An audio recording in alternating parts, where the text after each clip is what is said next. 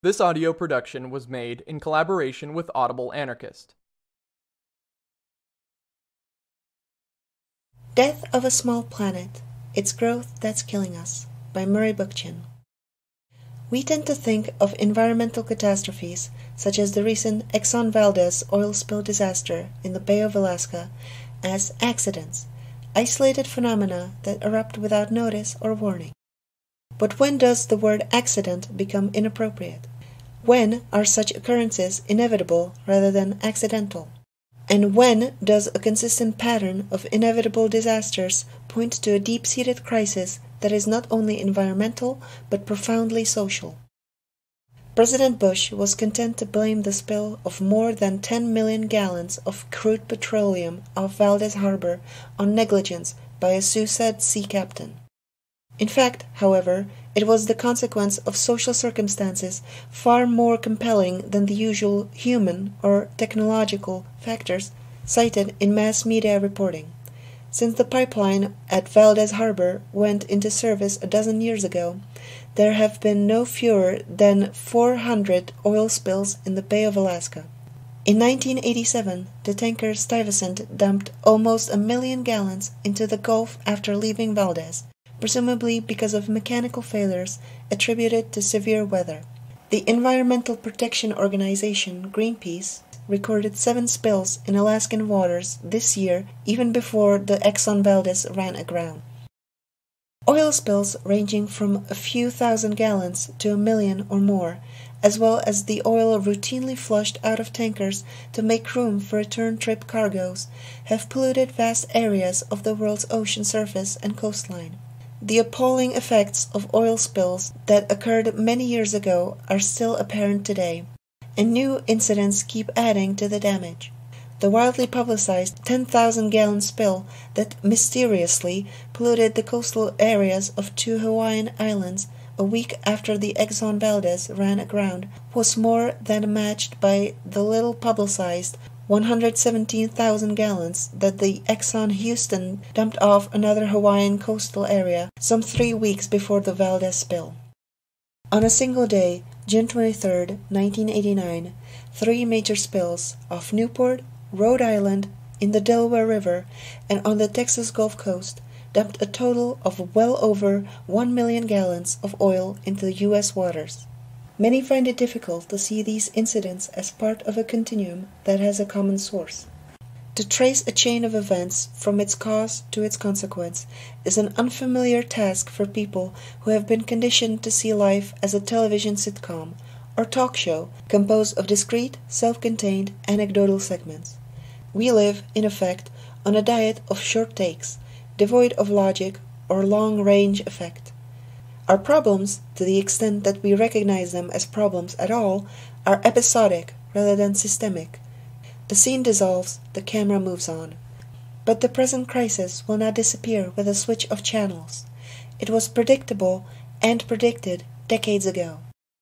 There is an all but forgotten history of dire portents, urgent warnings, and unsuccessful efforts by an earlier generation of environmentalists to deal with the social factors that underpin environmental problems. In many instances, they predicted with uncanny accuracy the results of ecologically insane policies pursued by the corporate establishment in the West and the bureaucratic establishment in the East. The earliest disputes around the dangers posed by the oil industry's expansion into oceanic drilling occurred even before the Arctic regions were opened to oil exploitation.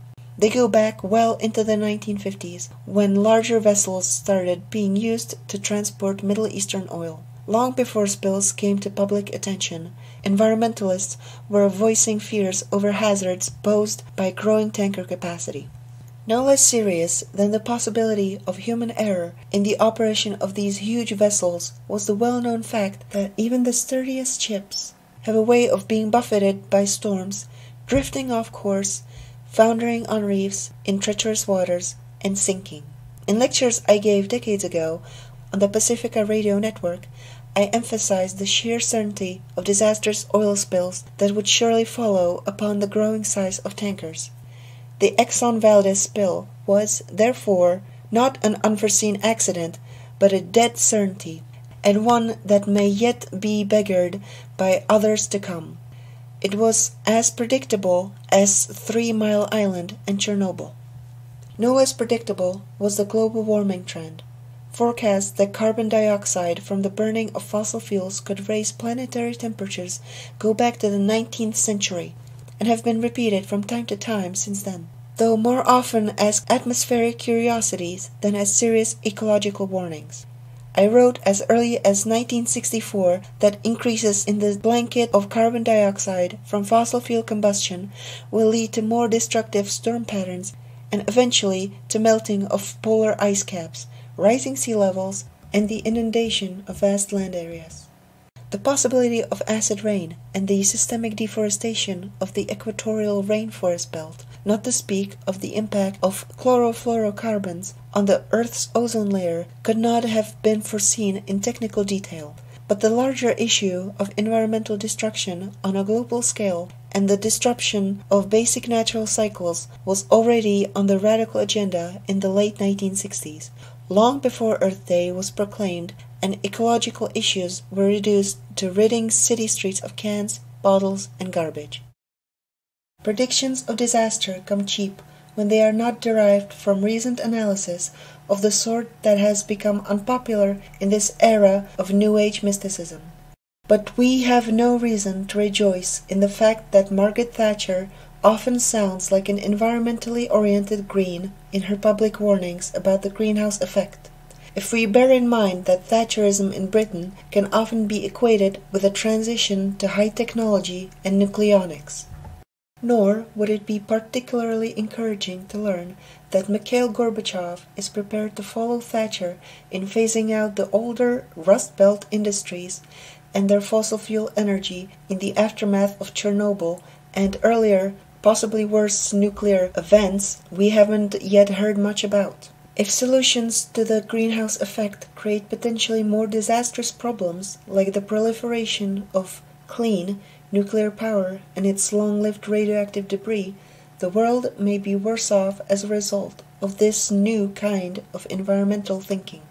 Attempts by President Bush to join this chorus by revising the Clean Air Act to reduce high ozone levels cancer causing pollutants, and other toxic substances have earned almost as much criticism as praise. The effects of Bush's proposals, which are modest enough if we bear in mind the appalling magnitude of the environmental crisis, will not be fully felt until the first decade of the next century. Understandably, that has aroused the ire of environmentalists. Moreover, for Bush to leave the execution of his plan to industry is to guarantee that the costs of pollution control technology will be passed on, with some extras, to the consumer, and that many of the proposals will be honored in the breach. What environmentalists must emphasize is that the global ecological crisis is systemic, not simply the product of random mishaps. If the Exxon Valdez disaster is treated merely as an accident, as were Chernobyl and Three Mile Island, we will have deflected public attention from a social crisis of historic proportions. We do not simply live in a world of problems, but in a highly problematical world, an inherently anti ecological society. This anti ecological world will not be healed by acts of statesmanship or passage of piecemeal legislation. It is a world that is direly in need of far reaching structural change. Perhaps the most obvious of our systemic problems is uncontrollable growth. I use the word uncontrollable advisedly in preference to uncontrolled. The growth of which I speak is not humanity's colonization of the planet over millennia of history. It is rather an inexorable material reality that is unique to our era, namely, that unlimited economic growth is assumed to be evidence of human progress.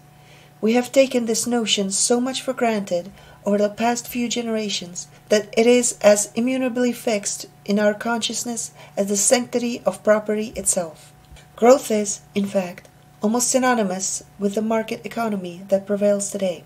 That fact finds its clearest expression in the marketplace maxim, grow or die. We live in a competitive world in which rivalry is a law of economic life, profit social as well as personal desideratum, limit or restraint an archaism, and the commodity a substitute for the traditional medium for establishing economic relationships, namely the gift. It is not enough, however, to blame our environmental problems on the obsession with growth. A system of deeply entrenched structures, of which growth is merely a surface manifestation, makes up our society. These structures arc beyond moral control, much as the flow of adrenaline is beyond the control of a frightened creature. This system has, in effect, the commanding quality of natural law. In a national or international market society, be it one of the corporate kind found in the West or the bureaucratic kind found in the East, competition itself generates need for growth. Growth is each enterprise's defense against the threat of absorption by a rival. Moral issues have no bearing on this compelling adversarial relationship. To the extent that a market economy becomes so persuasive that it turns society into a marketplace, a vast shopping mall, it dictates the moral parameters of human life and makes growth synonymous with personal as well as social progress. One's personality, love life, income, or body of beliefs, no less than an enterprise, must grow or die. This market society seems to have obliterated from most people's memory another word that once placed limits on growth, stressed cooperation over competition, and valued the gift as a bond of human solidarity. In that remote world the market was marginal to a domestic or natural society, and trading communities existed merely in the interstices of the pre market world, to use Marx's appropriate words.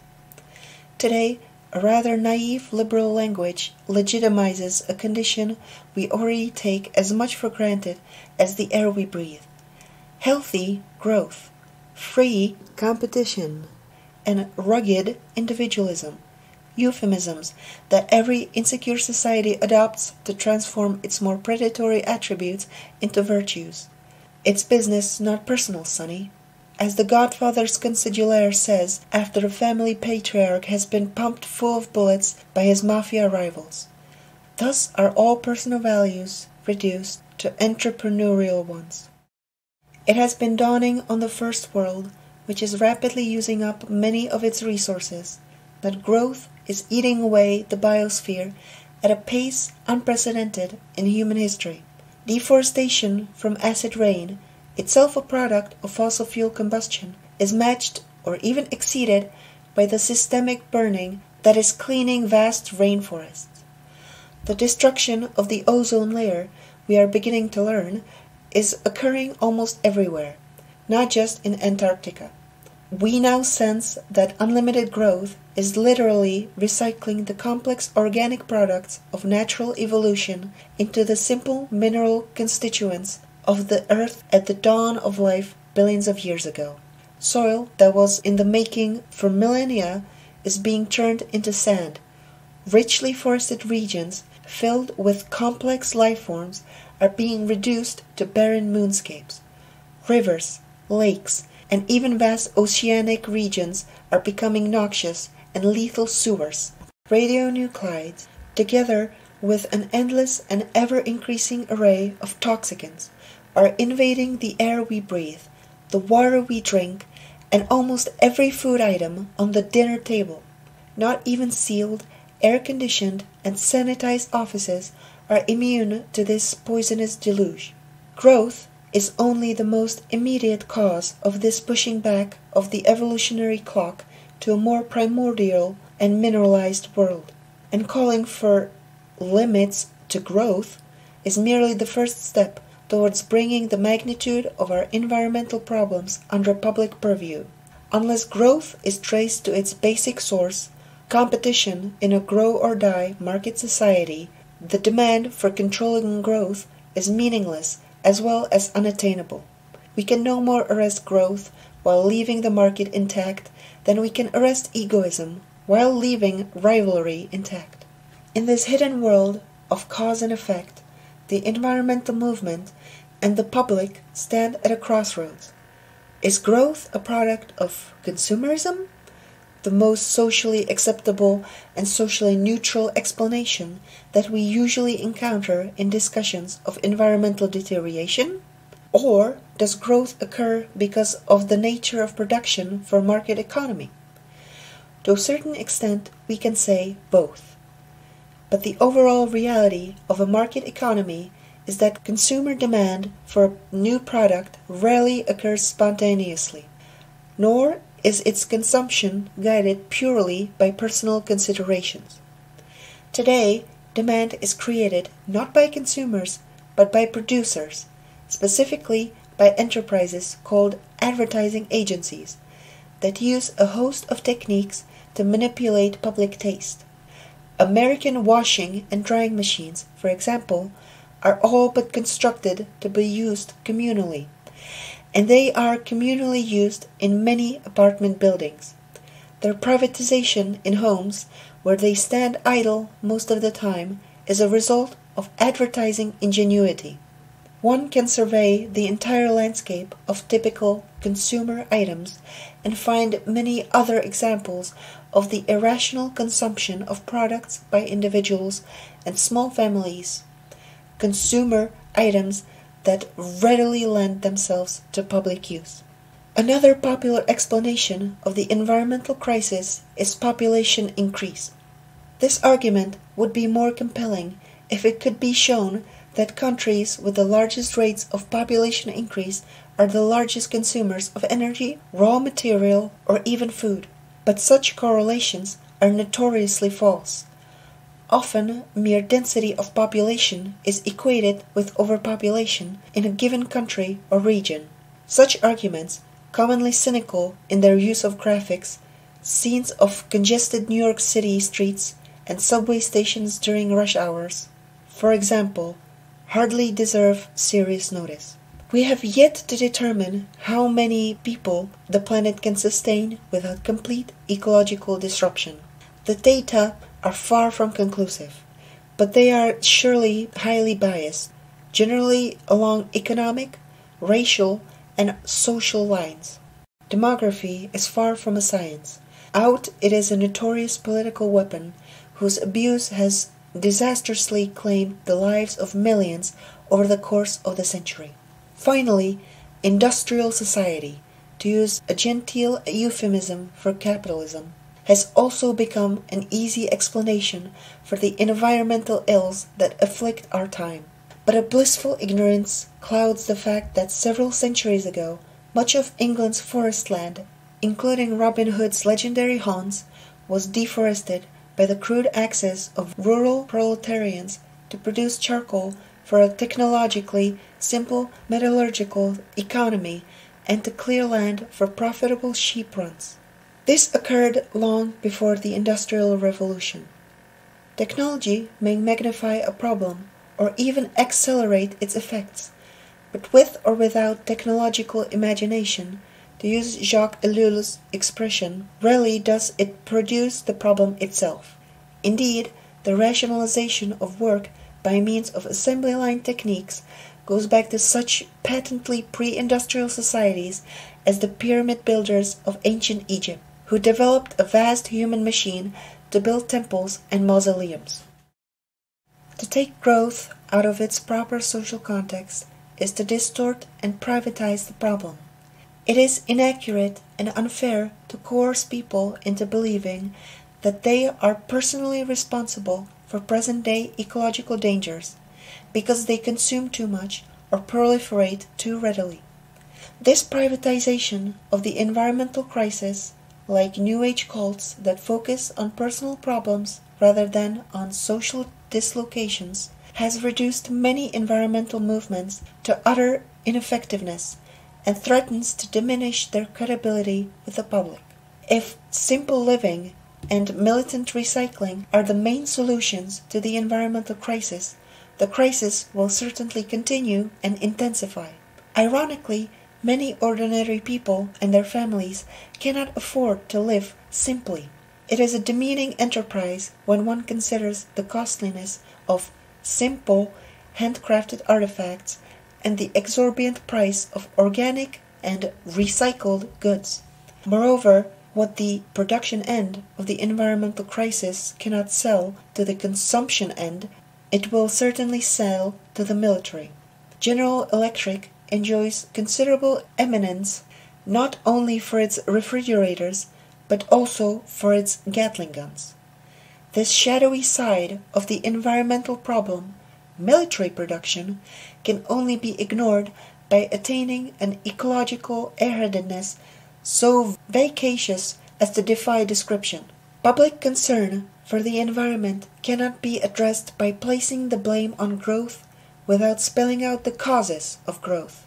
Nor can an explanation be exhausted by citing consumerism while ignoring the sinister role played by rival producers in shaping public taste and guiding public purchasing power.